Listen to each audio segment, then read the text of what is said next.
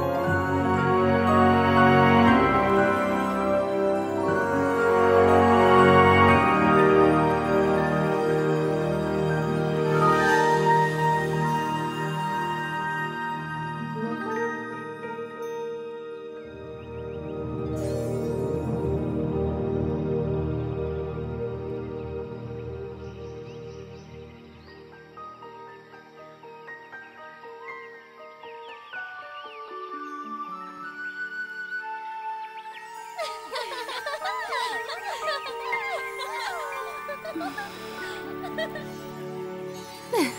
哈！